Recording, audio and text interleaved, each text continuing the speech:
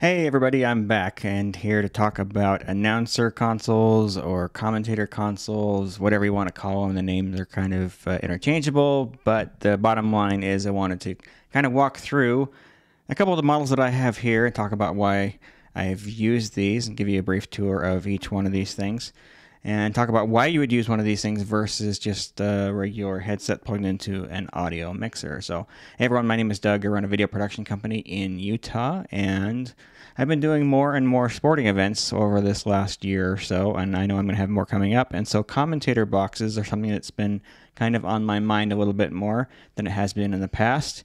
Um, I've had in my possession for a while uh, this model over here, this Model 210 from Studio Technologies, I am retiring this thing as of this point. The one that I'm going to be moving to is this Glensound Express IP Mini, and there are a few reasons for that, but not, uh, not the least of which is the fact that it actually does two commentators, two headsets at the same time instead of just having the one that I have with the Model 210 over here.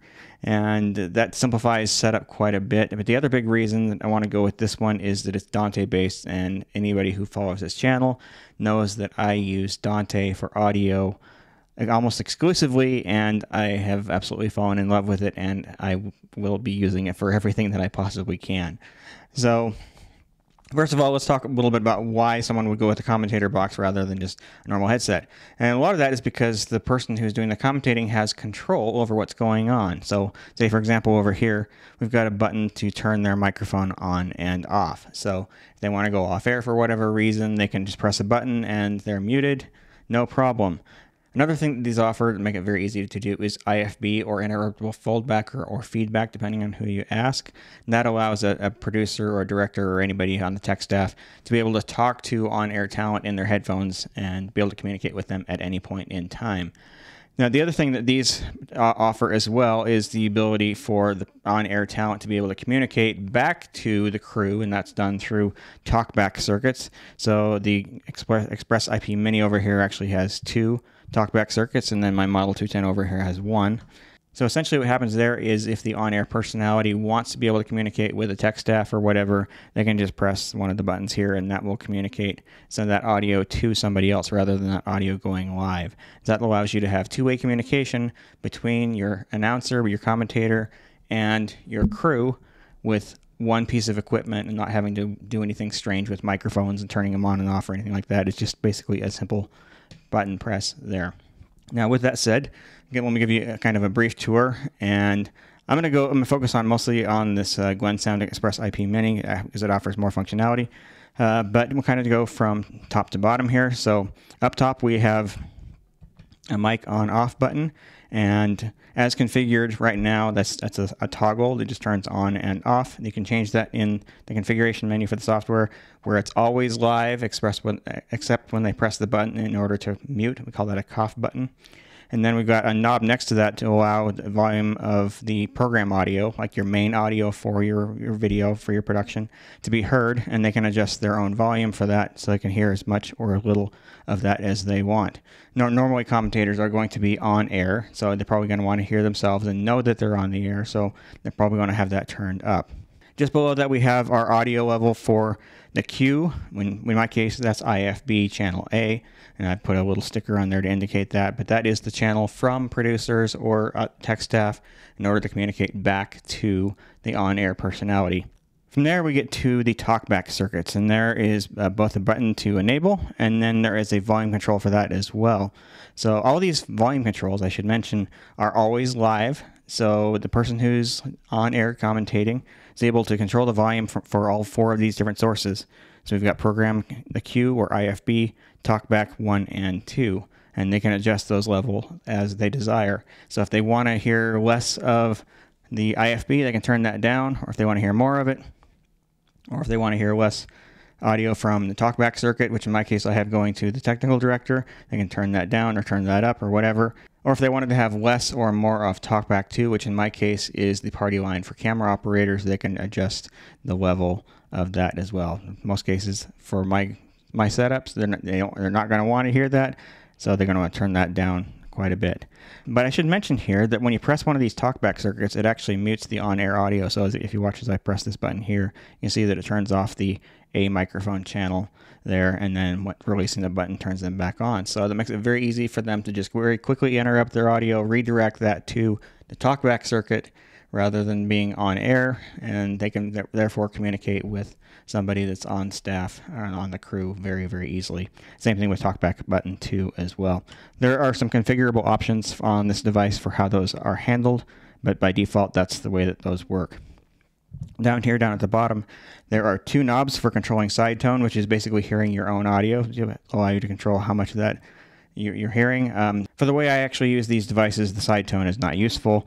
Uh, they're getting their own audio through the program or the other talkback circuits, so side tone off for me doesn't doesn't help at all. And then there's another one here for COM B, which is going to be this B circuit over here. So there are two separate circuits on here that are identical, one for uh, input one and then another for input two. And this COM B here allows them to hear the commentator on the opposite side. So commentator one to hear the audio from commentator two, and then on this one, com A allows them to hear audio from commentator one, and so forth. So again, for my situation, probably not actually that useful because I have those uh, that audio coming through program, but it is there for people who are not taking advantage of that feature or not not doing that. It allows the two commentators to be able to hear one another. There is one thing about this that I find disappointing. The microphone circuit does have to be live for those to work. I really wish that was something I could configure. That way, commentator can go off air and still be able to communicate with the person they're sitting next to, the other commentator they're sitting next to, very easily without having to go through another circuit. I've kind of resolved that. I've kind of solved that by having the talkback audio work that way. So if, if commentator one wants to talk to commentator two, they can very press one of the very quickly press one of the talkback buttons, and that allows the other the other commentator to be able to hear them as well.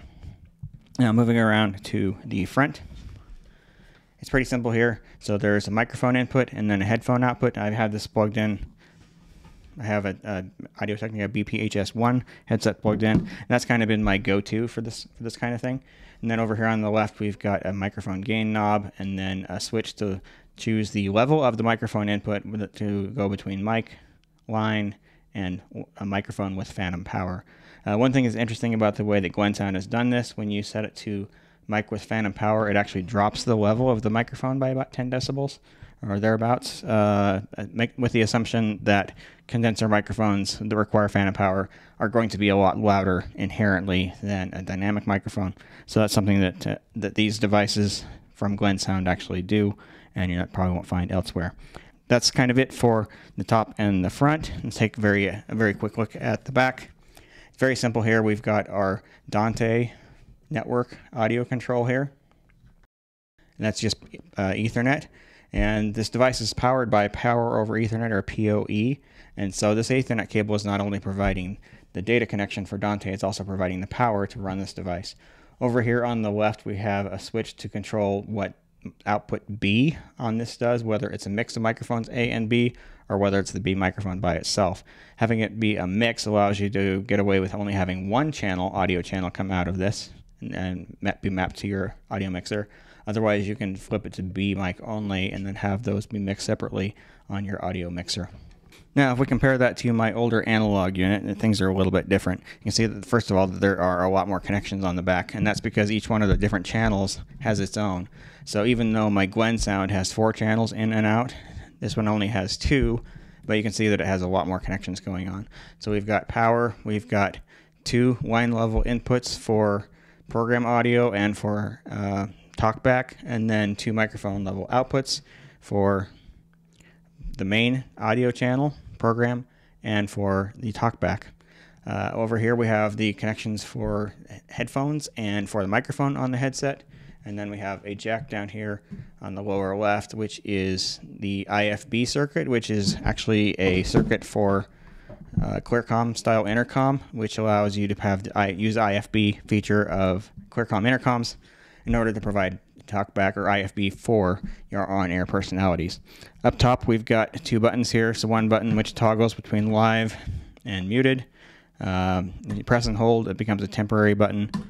If you just tap it, it, it toggles back and forth. And then talkback, which if if I press talkback here, you can see that it mutes the main channel. And so that the on-air personality can talk to your crew without that audio being live. And then on the front, we've got two different audio level controls, basically left and right.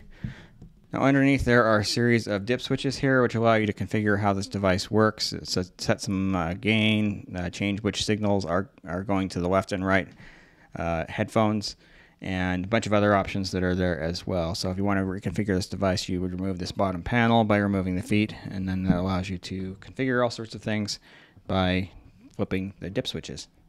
All right, let's take a brief look at uh, the Glensound website to look at a couple products there and also Studio Technologies. So the first one here is the Express IP Mini. It's the device that I have here in front of me. Uh, it's something I've only recently acquired. I got mine through Dale Pro Audio here in the United States. It's a, it's a company is in the UK. It's kind of hard to get the products here in the United States, but I was able to able to pull that off.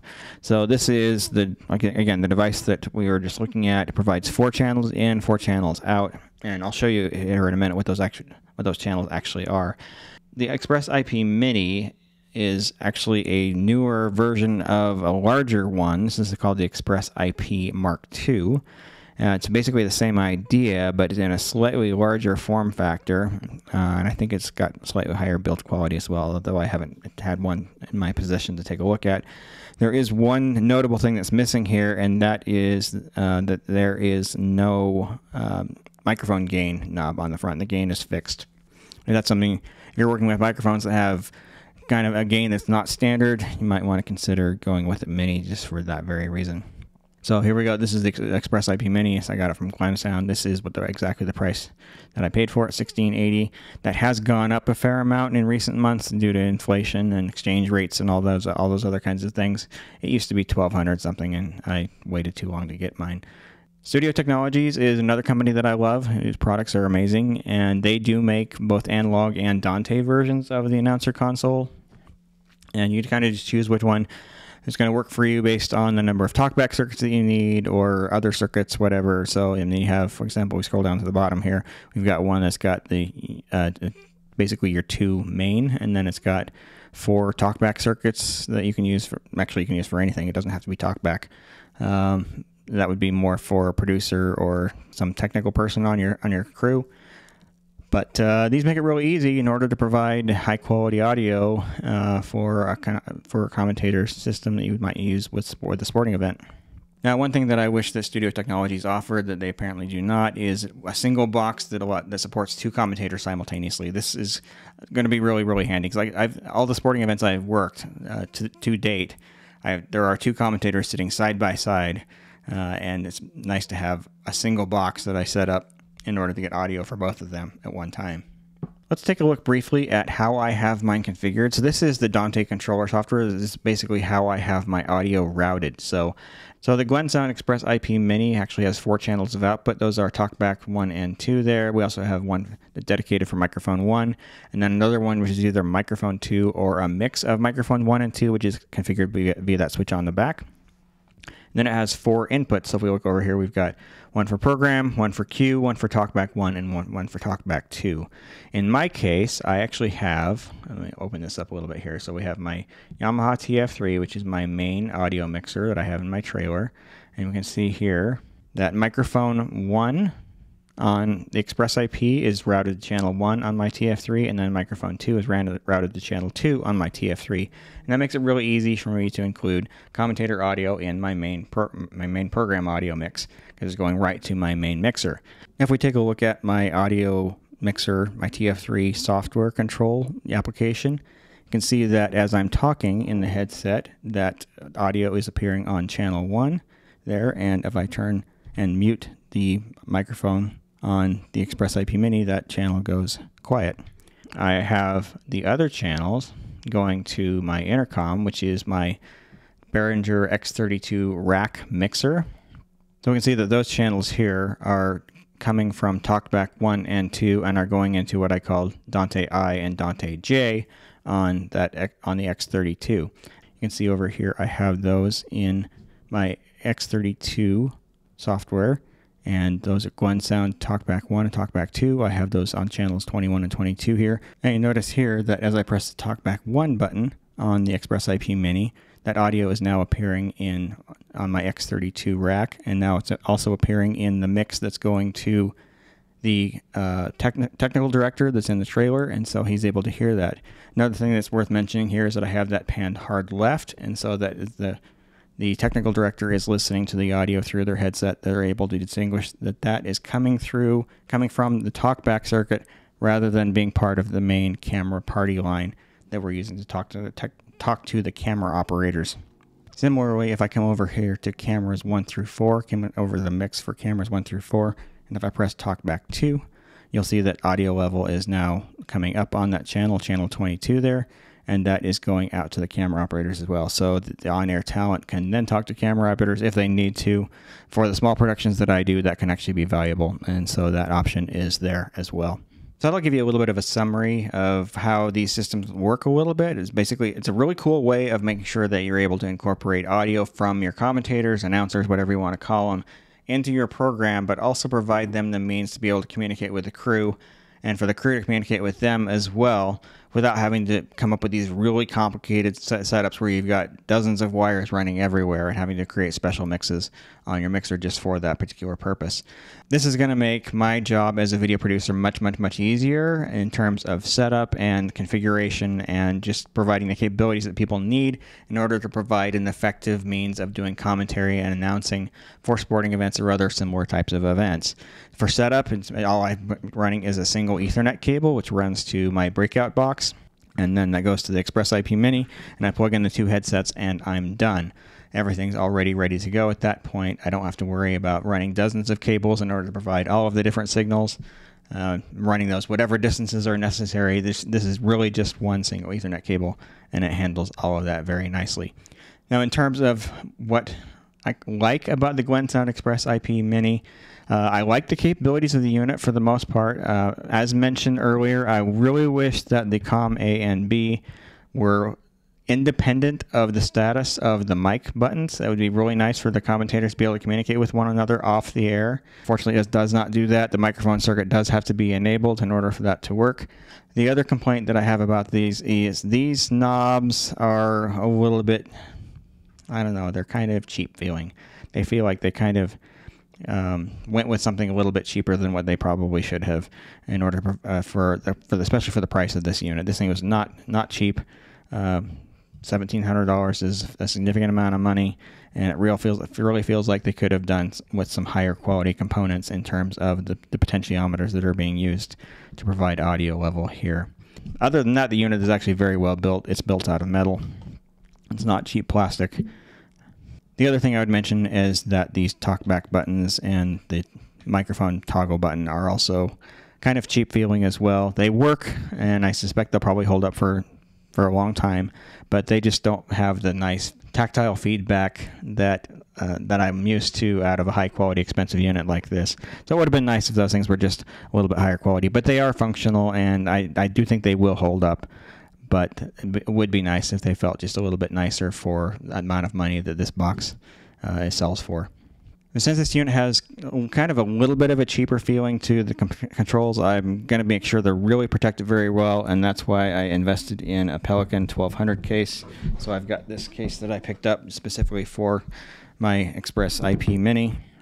The 1200 case fits perfectly. Inside that case, I'm able to fit the unit itself, an Ethernet cable, not super long one, but but enough for most of my setups. And then I have a couple of XLR splitters in here for those times when the commentators are provi- that are providing audio for not just the live stream but also for the PA system at a particular venue. I'm able to take and split their microphone so that they can use the same microphone to go do to do both live and the PA as well without having to run two separate microphones and all that complicated setup. So, so anyway, all that fits nicely in the Pelican 1200 case, and so that's going to be used. That's what I'm going to use to protect this and to cart it around from one event to another. Okay, so there you go. A brief discussion about some commentary units that are available. These are kind of mid-range units. Uh, there are some higher-end ones that are out there as well, uh, but these are perfect for the type of productions that I do. I don't need anything fancier than what these things are capable of doing. And so, therefore, I'm actually pretty happy with what I've got. If you have any questions about either of these units here or anything else related to production audio, you can leave those in the comment section down below. Or better yet, join us over on Discord. I have have a channel over there set up specifically for audio, and you can leave your questions there. And either uh, I will answer those, or somebody else in the video production community will join in and offer their feedback as well. If you're new to the channel, please consider subscribing. I try to do video production related content about once a week. That's the tr- that's what I'm trying to do. I don't always succeed, but I try to do production related content about once a week. If you want some additional behind the scenes videos or easier access to me to ask questions or whatever, you can join the YouTube members program. You can click the join button that's down below, or uh, sign up on Patreon. It also gives you early access to videos without any advertising, as well as well as some other perks um, that are available for those of you who want to have uh, some additional content as well. So, anyway, that's going to do it. So, thanks everybody for watching and have a fantastic day.